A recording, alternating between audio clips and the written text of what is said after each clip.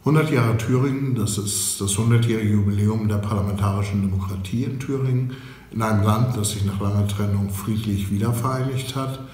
Es ist aber auch die Warnung dafür, was mit dieser Demokratie passieren kann, wenn sie nicht beschützt wird von den Bürgern. Und das werden wir heute besser machen, als das vor 100 Jahren passierte.